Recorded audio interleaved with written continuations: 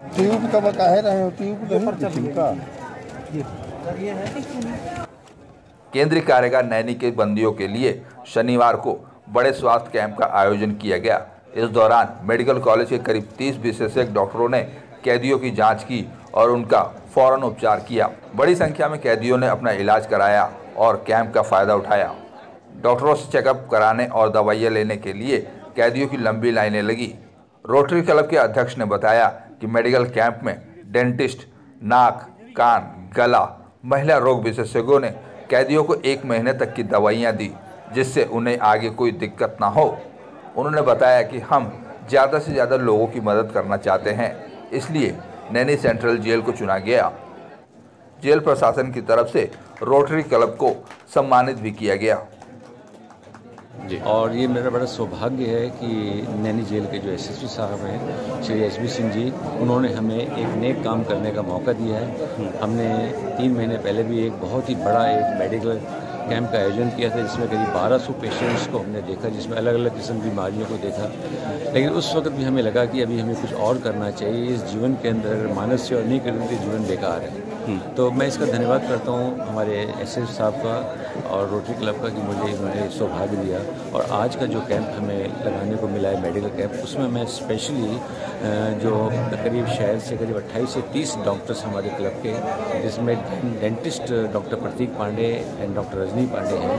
बेहतरीन डॉक्टर हैं डेंटिस्ट हैं और पेशेंट्स को सबसे ज़्यादा जो इन्फेक्शन जो होता है, मुँह से शुरू होता है, दांत से शुरू होता है, प्लस जो लेडीज़ प्रिजनर्स हैं तो हमारे क्लब की डॉक्टर रोटीन रमा मिश्रा जी, उनके हस्बैंड जे के मिश्रा जी हैं। तो लेडीज़ प्रिजनर्स को हम गायनाकोलॉजिस्ट को लेके आए हैं, डॉक्टर एल्वस आए हैं।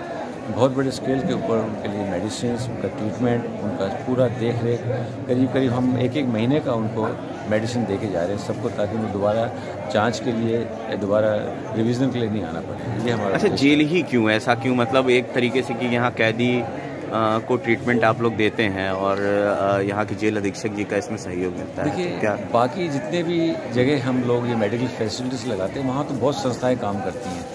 बहुत संस्थाएँ काम करती है और इतना लार्ज स्केल पर नहीं हो पाएगा वहाँ भी क्योंकि कोई पचास पेशेंट देखता है कोई सौ पेशेंट देखता है यहाँ हमें ईश्वर ने ऐसा मौका दिया है कि यहाँ हमें हज़ारों की तादाद में पेशेंट को देख सकते हैं उनको मिल सकते हैं उनका दुख बांट सकते हैं उनको उनको सुख देना चाहते हैं हम। तो ये नैनी जेल सेंट्रल जेल से बेहतर हमें कोई जगह नहीं लगी जहाँ पे हमें सब कुछ करने का सौभाग्य मिलता है। जन सेवा और मानव सेवा करने का सौभाग्य ये उद्देश्य को लेकर हम चल रहे हैं। थैंक यू अधीक्षक जी के लिए क्या कहना चाहेंगे आपके अधीक्षक जी अपने आप में बहुत ही नेक इंसान है देव पुरुष हैं जिन्होंने हमेशा हमें नेक काम करने का मौका दिया है। इन्होंने एस एस पी साहब ने एच पी सिंह साहब ने बहुत ही नेक आदमी है साक्षात महत्व देवता का स्वरूप है। इन्होंने जब भी हमने इस काम के लिए किसी भी काम के लिए कहा इन्होंने तुरंत हमें संपर्क किया है और हमें यहाँ हमें मान सम्मान दिया करने का मौका दिया है। अभी हमने दो महीने पहले जो दो अक्टूबर को हमने ग्यारह कैदी भी छुड़वाए थे वो भी आपने हमें बहुत मौका दिया। उनका हमने जो भी जुर्माना था भर के उन घरों को पहुँचाया। आज जो है रोटी क्लब इलाहाबाद इलीट जिसके प्रेसिडेंट श्री मुनिराज पटेल जी हैं उनके सौजन्य से केंद्रीय कारागार नैनी में निरुद्ध बंदियों का के परि, स्वास्थ्य परीक्षण व उनके उपचार के लिए बृहद कैंप का आयोजन किया गया। जिसमें लगभग 30 expert medical officers medical college के आए हुए हैं जो आँख दांत हार्ट अन्य तमाम रोगों के एक्सपर्ट हैं। उनके द्वारा उनका परीक्षण किया जा रहा है और तत्काल दवाएँ भी रोटी क्लब के द्वारा मुहैया कराई जा रही हैं। रोटरी क्लब में सम्मानित भी क्या किया गया है जेल की तरफ़ से इनको? इसके हाँ, विषय में भी सर।